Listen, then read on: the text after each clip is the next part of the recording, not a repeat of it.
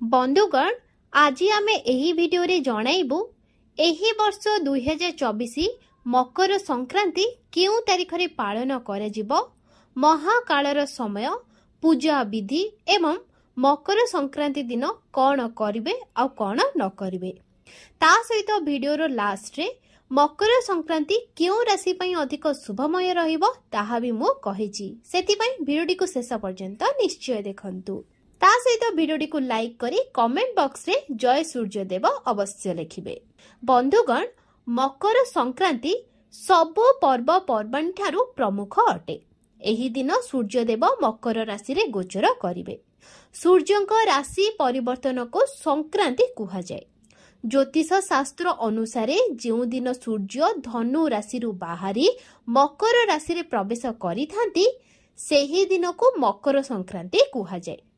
ସୂର୍ଯ୍ୟ ଦକ୍ଷିଣାୟରୁ ଉତ୍ତରାୟଣ ହୋଇଥାନ୍ତି। ଏଥିପାଇଁ ଏହାକୁ ଉତ୍ତରାୟଣ ବି କୁହାଯାଏ।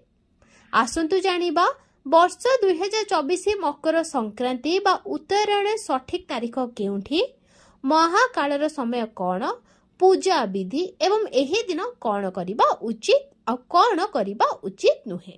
ବନ୍ଧୁଗଣ ମକର ସଂକ୍ରାନ୍ତି ଦୁଇହଜାର ଚବିଶ ଜାନୁଆରୀ ପନ୍ଦର ତାରିଖ ଦିନ ମନାଯିବ। ସୂର୍ଯ୍ୟ ପନ୍ଦର ଜାନୁଆରୀ ପ୍ରାତଃ କାଳ ଦୁଇଟା ଚଉବନ ମିନିଟ୍ରେ ଧନୁ ରାଶିରୁ ବାହାରି ମକର ରାଶିରେ ପ୍ରବେଶ କରିବେ। ସଂକ୍ରାନ୍ତିର ପୁଣ୍ୟ କାଳର ସମୟ ରହିବ ପନ୍ଦର ଜାନୁଆରୀ ପ୍ରାତଃ କାଳ ସାତଟା ପନ୍ଦର ମିନିଟ୍ ଠାରୁ ସନ୍ଧ୍ୟା ପାଞ୍ଚଟା ଚାଳିଶ ମିନିଟ୍ ଯାଏଁ ରହିବ।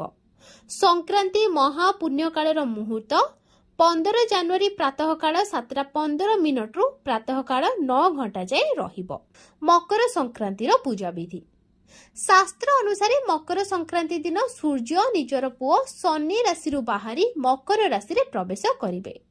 ଫ୍ରେଣ୍ଡସ୍ ମାନ୍ୟତା ଅଛି ସଂକ୍ରାନ୍ତି ଦିନ ପାଣିରେ କଳା ରାଶି ଆଉ ଗଙ୍ଗା ଜଳ ମିଶାଇ ସ୍ନାନ କରିଲେ ଜାତକରେ ଦୋଷ ସବୁ ଦୂର ହୋଇଥାଏ। ସୂର୍ଯ୍ୟ ଏବଂ ଶନି ଦୁଇ ଜଣଙ୍କ କୃପା ମିଳିଥାଏ। ସଂକ୍ରାନ୍ତି ଦିନ ସୂର୍ଯ୍ୟୋଦୟ ପୂର୍ବରୁ ଉଠି ରାଶି ମିଶା ଜଳରେ ସ୍ନାନ କରନ୍ତୁ। ଆପଣ ସୂର୍ଯ୍ୟଦେବଙ୍କୁ ଜଳ ଅର୍ଘ୍ୟ ଦେଇ ଓମ୍ ସୂର୍ଯ୍ୟ ନମ ମନ୍ତ୍ର ଜପ କରନ୍ତୁ। ମକର ସଂକ୍ରାନ୍ତି ଦିନ ସୂର୍ଯ୍ୟଙ୍କ ପୂଜା ପରେ ରାଶି ଡାଲି ଚାଉଳ ଗୁଡ଼ ବସ୍ତ୍ର ବା ଧନ କୌଣସି ବ୍ରାହ୍ମଣକୁ ଦାନ କରନ୍ତୁ। ଏହା ସହିତ ଏହି ଦିନ ଭଗବାନଙ୍କୁ ରାଶି ଆଉ ଖିଚିଡ଼ିର ଭୋଗ ଲଗାଇବା ଶୁଭ ହୋଇଥାଏ। ମକର ସଂକ୍ରାନ୍ତି ଦିନ କ'ଣ କରିବେ? ଏହି ଦିନ ସୂର୍ଯ୍ୟଦେବଙ୍କୁ ଉପାସନା କରିବାର ବିଶେଷ ମହତ୍ଵ ରହିଛି। ଏହି ଦିନ ସୂର୍ଯ୍ୟଦେବଙ୍କୁ ବିଶେଷ ପୂଜା କରିବା ଉଚିତ। ସକାଳେ ଏବଂ ପୂଜା ପାଠ କରିବା ପରେ ଜଳରେ ସିନ୍ଦୁର ଏବଂ କଳା ରାଶି ପକାଇ ସୂର୍ଯ୍ୟଦେବଙ୍କୁ ଅର୍ଘ୍ୟ ଦିଅନ୍ତୁ। ଏମିତି କରିଲେ ଜୀବନରେ ସୁଖ ଶାନ୍ତି ବନି ରହିଥାଏ। ମକର ସଂକ୍ରାନ୍ତି ଦିନ ଗଙ୍ଗା ସ୍ନାନ କରନ୍ତୁ। ଏହି ଦିନ ରାଶି କିମ୍ବା ରାଶିରେ ବନାଯାଇଥିବା କୌଣସି ଜିନିଷ ଦାନ କରିବା ଉଚିତ ଅଟେ ଏହି ଦିନ ଚାଉଳ ଏବଂ ଡାଲିର ଖିଚିଡି ବନେଇ ଶନିଦେବଙ୍କୁ ଭୋଗ ଲଗାନ୍ତୁ। ଏଥିରେ ଆପଣଙ୍କୁ ସମସ୍ତ କଷ୍ଟରୁ ମୁକ୍ତି ମିଳିଥାଏ। ମକର ସଂକ୍ରାନ୍ତି ଦିନ କୌଣସି ଗରିବ ଲୋକଙ୍କୁ କମ୍ବଳ ଏବଂ ଘିଅ ଦାନ କରିବା ଉଚିତ ଅଟେ ମକର ସଂକ୍ରାନ୍ତି ଦିନ ଏହି କାମ କରନ୍ତୁ ନାହିଁ। ଜ୍ୟୋତିଷ ଶାସ୍ତ୍ର ଅନୁସାରେ ଏହି ଦିନ ତାମସିକ ଭୋଜନ କରିବା ଉଚିତ ନୁହେଁ। ଏହି ଦିନ ପିଆଜ ଏବଂ ରସୁଣ ଖାଆନ୍ତୁ ନାହିଁ। ଏହି ଦିନ ଘରକୁ ଆସିଥିବା ଭିକାରୀକୁ ଖାଲି ହାତରେ ଫେରାଇବେ ନାହିଁ। ସଂକ୍ରାନ୍ତି ଦିନ ନ ଗାଧୋଇ ନ ପୂଜା କରି ଭୋଜନ ଗ୍ରହଣ କରିବା ଉଚିତ ନୁହେଁ। ମକର ସଂକ୍ରାନ୍ତି ଦିନ ସୂର୍ଯ୍ୟାସ୍ତ ପରେ ଭୋଜନ କରିବା ଉଚିତ ନୁହେଁ। ସେହି ଦିନ ସୂର୍ଯ୍ୟାସ୍ତ ପୂର୍ବରୁ କରିଦେବା ଉଚିତ ଅଟେ ତ ଫ୍ରେଣ୍ଡସ୍ ଏହା ଥିଲା ମକର ସଂକ୍ରାନ୍ତିର ଶୁଭ ମୁହୂର୍ତ୍ତ। ଆଉ ସେହି ଦିନ କ'ଣ କରିବା ଉଚିତ ଅଟେ ଆଉ କ'ଣ ନାହିଁ। ଏବେ ଚାଲନ୍ତୁ ଜାଣିନେବା ମକର ସଂକ୍ରାନ୍ତି ଦିନଠାରୁ କେଉଁ ରାଶିର ଭାଗ୍ୟ ବଦଳିବାକୁ ଯାଉଅଛି? ତ ବନ୍ଧୁଗଣ ପନ୍ଦର ଜାନୁଆରୀରେ ପଡୁଛି ମକର ସଂକ୍ରାନ୍ତି। ଏହି ଦିନ ଗ୍ରହରାଜ ସୂର୍ଯ୍ୟଙ୍କର ରାଶି ପରିବର୍ତ୍ତନ ହେଉଛି। ଜ୍ୟୋତିଷଙ୍କ କହିବା ଅନୁଯାୟୀ ସୂର୍ଯ୍ୟଦେବ ମକର ରାଶିରେ ଗମନ କରିବେ। ସୂର୍ଯ୍ୟଦେବ ଦୀର୍ଘ ଏକ ମାସ ଧରି ମକର ରାଶିରେ ରହିବେ ଏବଂ ତେର ଫେବୃଆରୀରେ ସୂର୍ଯ୍ୟ ମକରରୁ କୁମ୍ଭ ରାଶିକୁ ପ୍ରବେଶ କରିବେ। ଏହି ରାଶି ପରିବର୍ତ୍ତନରେ ମେଷ ଓ କୁମ୍ଭ ସମେତ ପାଞ୍ଚଟି ରାଶି ବିଶିଷ୍ଟ ବ୍ୟକ୍ତିଙ୍କ ବିଶେଷଙ୍କ ଶୁଭ ଦିନ ଆରମ୍ଭ ହେବାକୁ ଯାଉଛି। ତେବେ ଆସନ୍ତୁ ଜାଣିବା କେଉଁ ରାଶି ପାଇଁ ଏହା ଶୁଭଙ୍କର ହେବାକୁ ଯାଉଛି। ମେଷ ରାଶି। ମକର ରାଶିରେ ସୂର୍ଯ୍ୟଙ୍କ ପ୍ରବେଶ ପରେ ମେଷ ରାଶିର ବ୍ୟକ୍ତିବିଶେଷ ମାନଙ୍କ ବୈବାହିକ ଜୀବନ ସୁଖମୟ ହେବ। ସାଙ୍ଗସାଥୀମାନଙ୍କ ସହିତ ମନୋରଞ୍ଜନରେ ସମୟ କଟିବ ଧନ ପ୍ରାପ୍ତି ହେବ ରୋଜଗାର ବୃଦ୍ଧି ହେବା ସହିତ ଆୟର ନୂଆ ପନ୍ଥା ମିଳିବାର ସମ୍ଭାବନା ଅଛି। ବୃଷ ରାଶି। ସୂର୍ଯ୍ୟଙ୍କ ଆଗମନରେ ବ୍ୟବସାୟ କରୁଥିବା ବୃଷ ରାଶିର ବ୍ୟକ୍ତିବିଶେଷଙ୍କ ପାଇଁ ସମୟ ଅନୁକୂଳ ହେବ। ପଦୋନ୍ନତିର ସମ୍ଭାବନା ରହିଛି ସରକାରୀ ଲାଭ ଯୋଗ ଅଛି। କନ୍ୟା ରାଶି।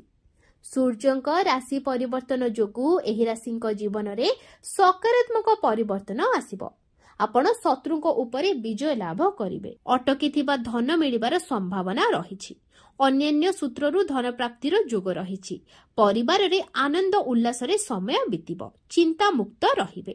ଧନୁରାଶି ସୂର୍ଯ୍ୟଙ୍କ ଶୁଭ ପ୍ରଭାବ ହେତୁ ଆପଣଙ୍କ ପଦ ଓ ପ୍ରତିଷ୍ଠାରେ ଉନ୍ନତି ଦେଖାଯିବ।